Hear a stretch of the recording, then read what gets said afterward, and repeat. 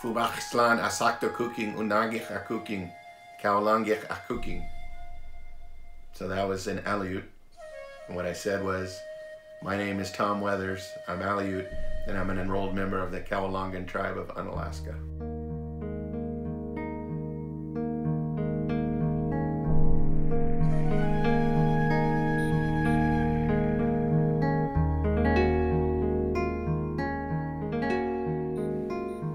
Historically, the United States government tried to assimilate natives, and so they would remove them from their homes, from the reservations, and they'd put them in boarding schools. And they'd force them to speak English, and they'd force them to learn Western culture.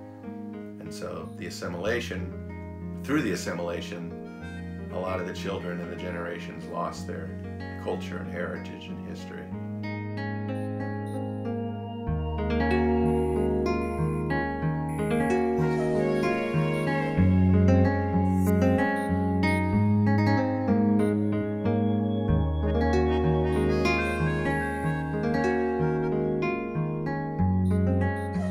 Happening is as kids get more connected on the internet and television and Wi-Fi and all of that, they're more indoctrinated into Western culture.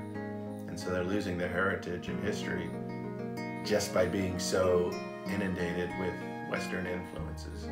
And then you couple that with a lot of the elders are dying off, uh, they're getting older, they're not passing down the language as much to the younger generations, uh, the dances, the history.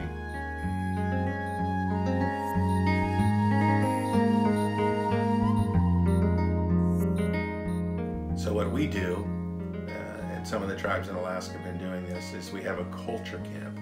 There's, I think, 13 different Aleut tribes, and so each one has its own culture camp on their island, the Aleutian Islands and you'll have elders come and they'll teach the history, the dance, the language, the culture, the foods, the plants, the art, and try to educate the younger generations to keep the culture alive.